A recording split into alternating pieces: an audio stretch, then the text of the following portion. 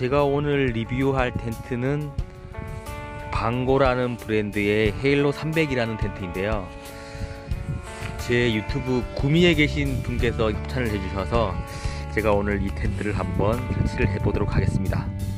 이 텐트의 장점이 무엇인지 그리고 미니멀 텐트로 혹은 백패킹용 텐트로 어떤 점이 좋은지 한번 제가 한번 설치를 해볼게요. 일단은 구성품을 살펴보면 가방이 있고요. 그리고 inner 텐트와 플라이 그리고 팩 이렇게 기성, 기본 구성품이고요. 그 footprint는 별도의 그 구성품이더라고요. 일단은 텐트를 한번 설치해 보겠습니다. 우선 헤일로 300의 폴대인데요.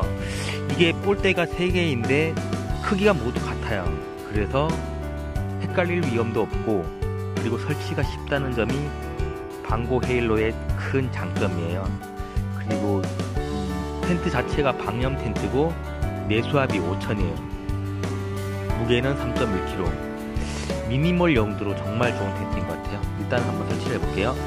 지금 볼대 3개를 슬리브에 끼워주기만 하면 되는데요. 이렇게 가로로 2개, 세로로 2개 슬리브에 삽입만 해주면 끝이고 그리고 들어서 설치하고 팩만 박으면 끝이에요. 정말 설치는 정말 쉬운 것 같아요. 지금 슬리브를 이용해서 아일렛에 꼽은 상태인데요. 설치는 대략 5분.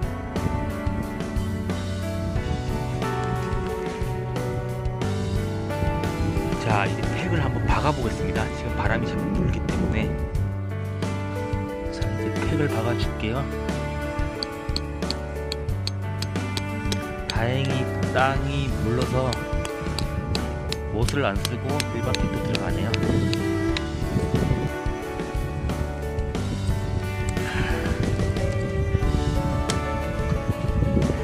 클립들을 이렇게 채워주고 텐트 설치는 대략 끝났어요.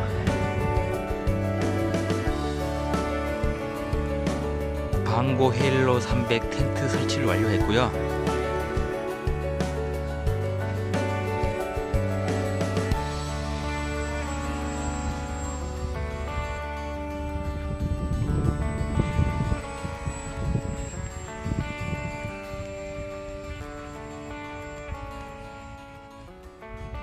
앞뒤가 똑같은 것 같아요. 앞뒤가 똑같은 텐트겠죠. 자, 이제 이너 텐트를 한번 들어가 볼게요. 220에 180의 사이즈이기 때문에 딱 3인용으로 좋은 것 같아요. 안에는 수납 포켓도 있고요. 그리고 천장에는 랜턴 고리도 있어요. 무게 3.1kg. 백패킹용으로는 좀 애매한 텐트의 무게고요. 미니멀용으로는 정말 좋은 것 같아요. 내수압도 5천이나 되고 성인 남성 3명 정도는 여유롭게 잘 수 있을 것 같아요.